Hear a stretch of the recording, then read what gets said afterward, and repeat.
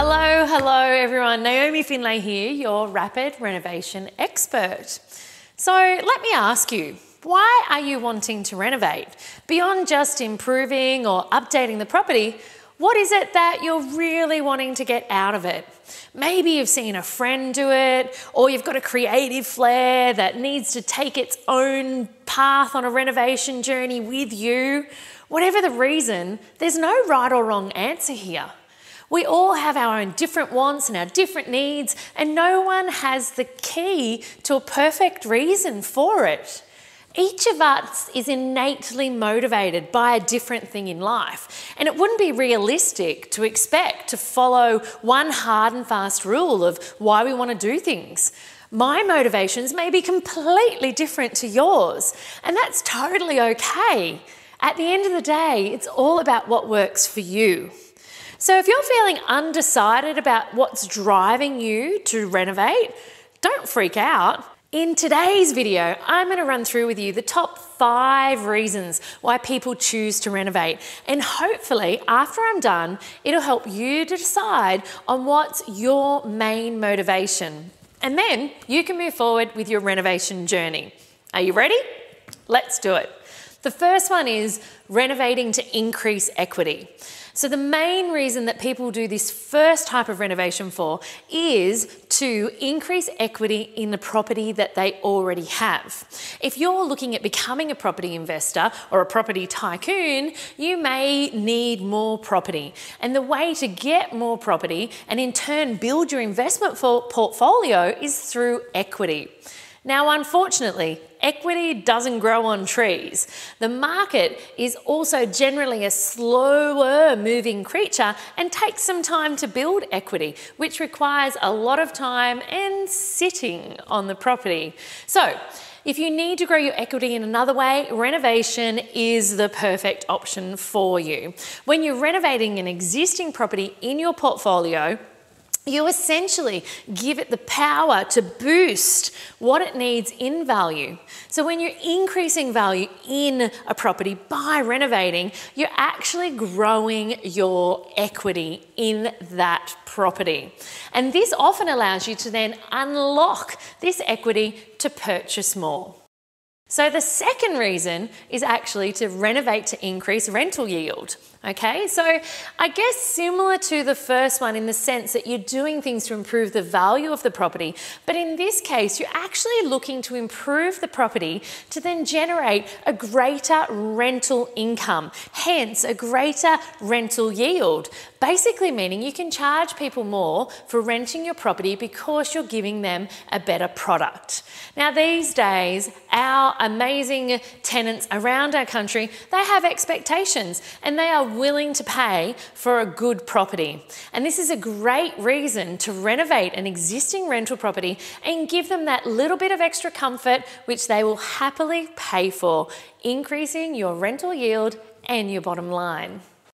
Now, the third reason renovating to sell. You've heard of the popular buy low, sell high rule. It's all about buying something at or below market value, and then adding value to it, jamming value into that property through really good, solid renovations, and then selling them at a profit. And this is exactly what this strategy is all about. It's probably one of the most popular um, reasons that people renovate because a lot of wealth can be generated from house flipping or buying, renovating, and then selling. And one of the biggest biggest benefits of this is you are generally speaking, you are buying and selling in the same market, which makes it the lowest risk, quickest way to make a decent profit in property in our country today. Now, renovation reason number four, and this is totally for personal enjoyment. Ah, oh, it's a great Australian dream, isn't it? Buy a house, settle in, and enjoy it. How about you buy a house, you renovate it to suit your specific needs, your family needs, your lifestyle of the modern Australian dream? And so many Australians are doing this. They're buying a rickety old shack and they are making it their dream home. So, this reason isn't about making money as such or equity as such. Or rental yield. And you know what? There may be the potential to sell the property down the track, but they're doing it purely for their own enjoyment with no immediate intention to sell following the renovations at all.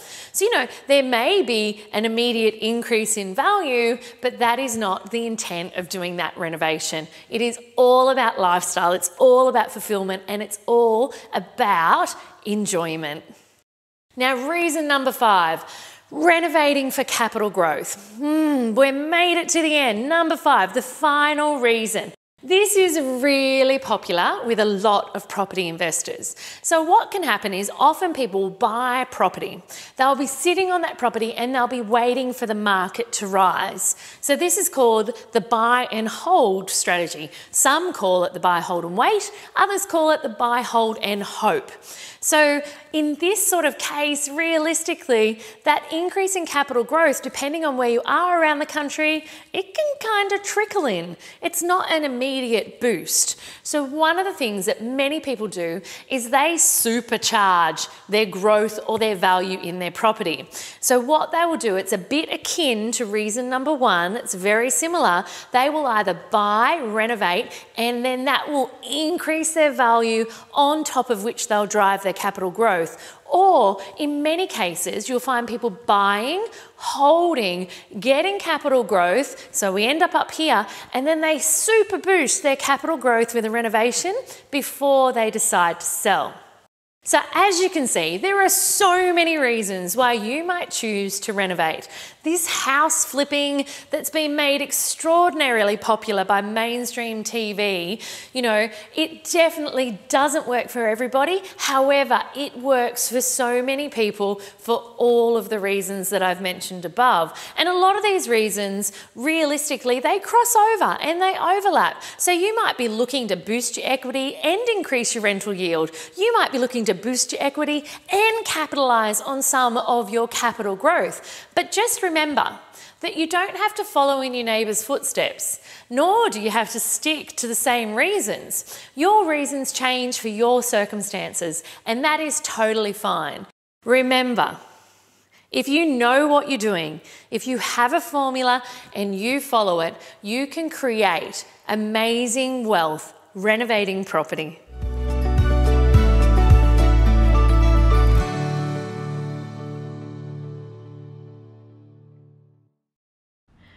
Hey, renovators, if you're ready to take the next step in your renovation journey, then come learn how to renovate with me in my online renovation masterclass. It's completely free for all of you listeners. So if you want to discover how to renovate properties for profit, head over to naomifindlay.com forward slash renovation masterclass, where I'll show you how the seven steps to my winning rapid renovation formula create a six figure income for me and many of my students. So save your spot today. Remember, it's naomifindlay.com forward slash renovation masterclass. See you soon.